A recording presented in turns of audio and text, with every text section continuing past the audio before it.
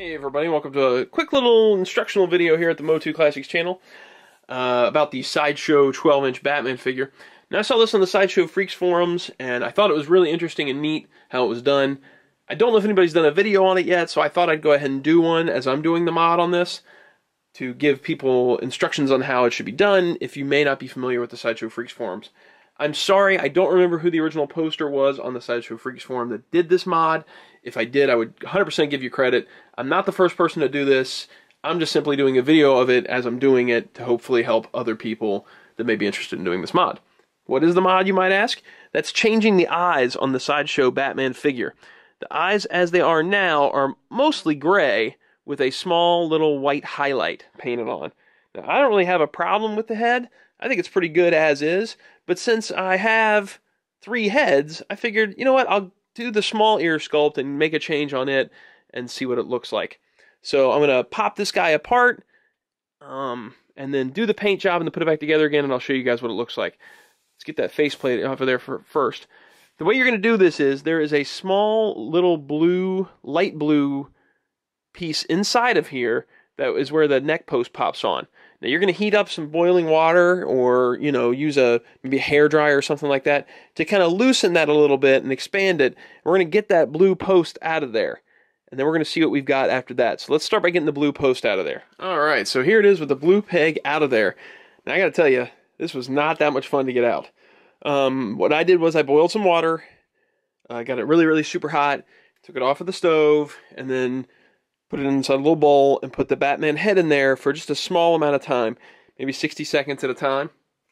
And then I would get in there with a flathead, like eyeglass screw, and get so that I was catching it along the edges.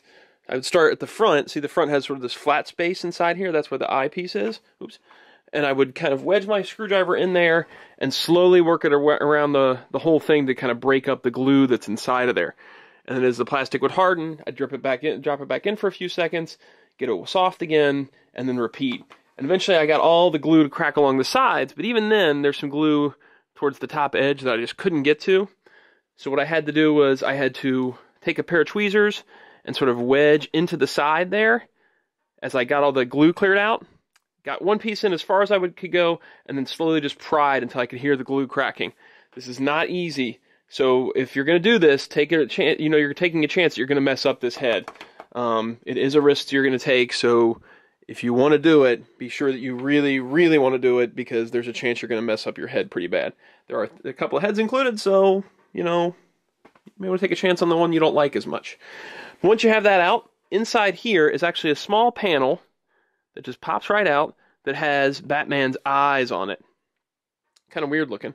Uh, it's got it's a gray panel with those two little tiny white highlights.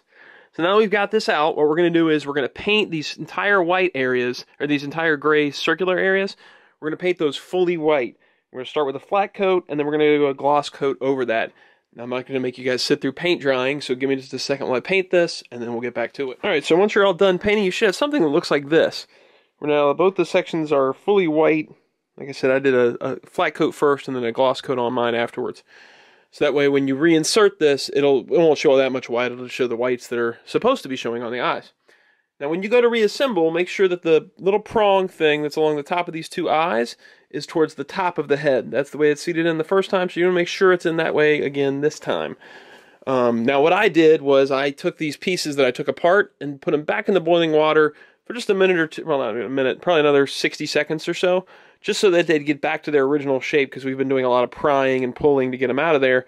And the, the, the heat of the water will get them back to their original shape if you've got any um, like malformed pieces now. Hopefully you won't be, won't be too far gone that the boiling water will pull it back to where it needs to go. So when we reassemble this, we're going to put the eyes inside the head, and then we're going to put the clip or the neck post in underneath that. I'm actually going to put a small dab of glue in places where I see there were glue residue before, just so that it stays together well. Um, I'm not going to do this while I'm trying to get behind a camera because I don't want to get glue all over my fingers or all over those eyes. Um, but I'll show you the finished product. Here we have the mod fully finished. We've put our eyes back inside there after painting them. We've put the post back in there. Like I said, I put a small amount of glue on mine just so that it wouldn't pop back out. Um, I would still, when you're changing the head, make sure you kind of grip the sides of it and pull it so that way that post doesn't pull off as you're switching the heads off on Batman.